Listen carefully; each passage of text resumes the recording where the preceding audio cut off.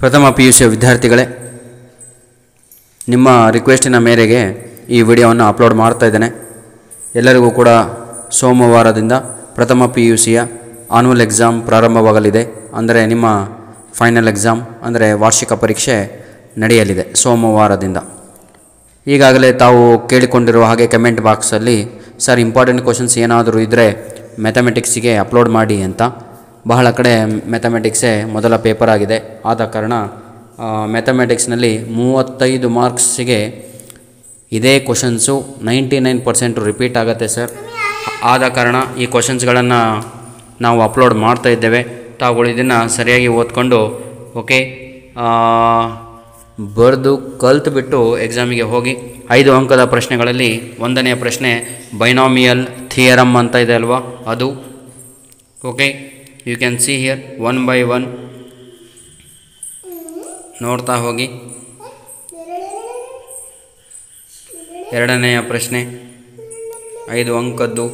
ಮೂರನೆಯ ಪ್ರಶ್ನೆ straight lines angle between two lines distance of a point from line distance between two parallel lines ಇದು sub points sir one two three ಇದು ಏನು ಅಂತ ತಾವುಗಳು first year P U C ಈಗಾಗಲೇ ನಿಮಗೆ ನಿಮ್ಮ ಶಿಕ್ಷಕರು ಪಾಠವನ್ನು ಮಾಡಿರ್ತಾರೆ. ಅದನ್ನು ತಾವುಗಳು ನೋಡಿಕೊಂಡು ಏನು ಮಾಡಬೇಕು ಅಂದರೆ ಇದನ್ನು ಸಂಪೂರ್ಣವಾಗಿ ಒಂದು ಪೇಪರ್ನಲ್ಲಿ ಕೀ ಆನ್ಸರನ್ನು ಎಲ್ಲ ಬರ್ಕೊಂಡು ತಾವುಗಳು ಪ್ರಾಕ್ಟೀಸ್ ಮಾಡಿ.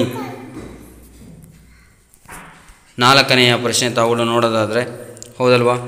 Okay, one square plus two square plus three square plus does ಡಸ್ ಪ್ಲಸ್ ಎನ್ ಸ್ಕ್ವೇರ್. ಓಕೆ, ಇದನ್ನೆಲ್ಲ ತಾವುಗಳು ನೋಡ್ಕೊಂಡ್ರೆ ಇಲ್ಲಿ ಎರಡು ಕ್ವಶನ್ಸ್ಗಳಿದೆ ಸರ್.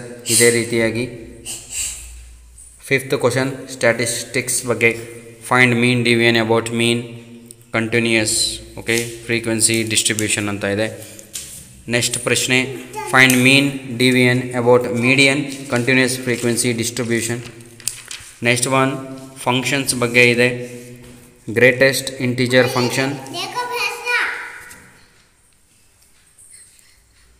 ಸಿಗ್ನಮ್ function modulus function